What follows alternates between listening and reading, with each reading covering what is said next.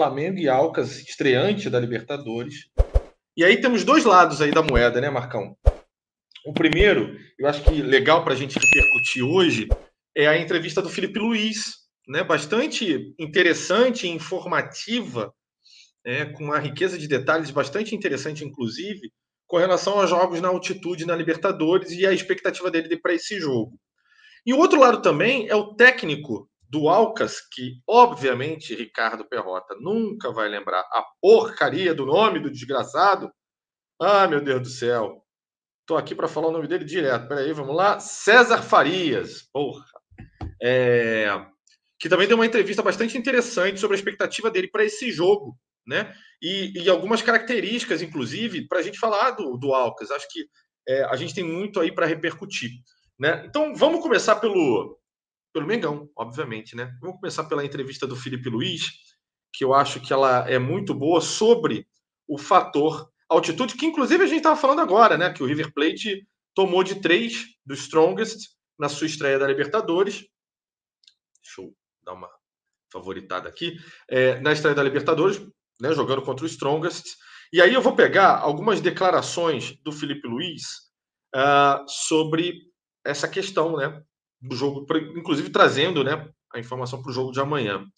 É, ele dizendo ao longo da entrevista que a primeira partida da Recopa Sul-Americana de 2020 contra o Independente Del Valle foi a partida que ele é, tem a recordação que mais é, de destaque uh, com relação à questão da altitude. Aí abre aspas para o Felipe Luiz. Né? O mais complicado que joguei foi contra o Del Valle e do Ramires em 2020. Da Recopa, na altitude, foi muito difícil. Começamos o jogo perdendo, viramos, mas eles empataram no fim com um gol de pênalti. 2 a 2 foi um resultado completamente enganoso.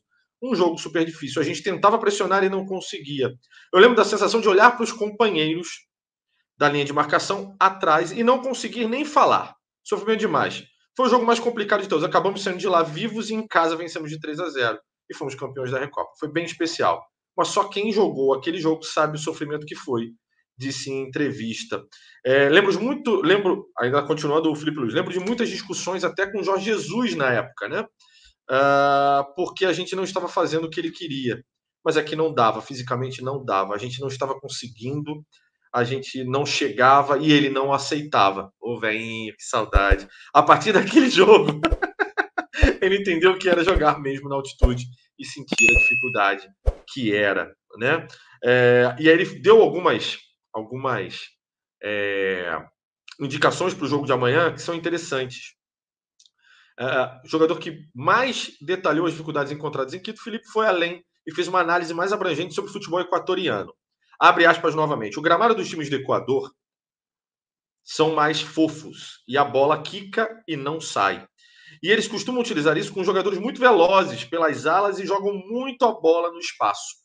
Temos que estar muito atentos a essa bola no espaço e as bolas nas costas. É uma frase que, se fosse Rodrigo e Arthur aqui, provavelmente renderia pelo menos 30 minutos de risadas e muitas piadas sobre, tá? Temos que correr muito antes, isso faz com que não estejamos tão compactos no campo. Temos que ter cuidado com esses lançamentos, porque a partir daí dá 5 metros a mais para o adversário jogar. Mas por outro lado, eles também sofrem. Com certeza, com certeza vamos ter nossas opções esperamos fazer um grande jogo, mas principalmente viver de novo esse ambiente da Libertadores, que é tão especial e faz com que o nosso ânimo levante. Ainda deu uma, mais alguns ainda detalhes que o jogo difícil porque na altitude a sensação sempre é de que você está sem força, sensação de que eles são mais rápidos, mais leves e que eles estão melhores com a bola. Temos que reconhecer essa sensação fisiológica do nosso corpo e a partir daí tentar controlar e dominar o jogo com a bola, fazer com que eles corram e que eles se desgastem mais. É difícil, é uma situação complicada nesse jogo, mas acredito que com toda a experiência nessa história, a gente consegue fazer um grande jogo. Tem muito mais, tá? Que ele falou. Tem muito mais é, sobre as características de um jogo como esse. É, mas, Marcão, entrevista boa do Felipe Luiz inclusive sobre uhum. essas características, as expectativas que ele tem. É, você acha, por exemplo, vou fazer uma pergunta dentro desse assunto, não só com a dificuldade da altitude, é, mas como é que você vê um, esse cenário como um todo, né? um, um Alcas, campeão equatoriano, que foi um time que perdeu grande parte dos seus jogadores, um estreante de Libertadores, jogando com o atual campeão da Libertadores em casa, verdade, mas é, que principalmente tem um desafio né, enorme de jogar contra o Flamengo. De que maneira você acha que vai se desdobrar esse jogo? Né? É, assim como o Flamengo. Por outro lado, o quanto aumenta a responsabilidade do Flamengo, mesmo em altitude, jogando contra um time estreante da Libertadores. É, esse, esse jogo, Perrotinho, é muito perigoso para o Flamengo. Eu vejo esse jogo perigoso para o Flamengo. É, por alguns motivos, né? Ah, o Alcas, para mim, é um franco atirador nessa, nessa, nesse cenário. Ele é um time estreante em Libertadores, que vai fazer o seu primeiro jogo contra o atual campeão, que nas três últimas Libertadores esteve na final nas três, ganhou duas, perdeu uma. Então, assim, cara, eles vão para o jogo para tentar e arriscar, e eu acho que eles vão estar tá bem mais. É, é, o Felipe Luiz falou isso, né? Mas assim, em outro sentido, bem mais leves do que a gente. Eles não têm obrigação nenhuma, né? A obrigação é ir lá e tentar competir com o time que é o campeão da, da, da Libertadores. Então, acho que é, é, as obrigações, assim, ah, nossa, precisa vencer e tal, não estão do lado do Alcas.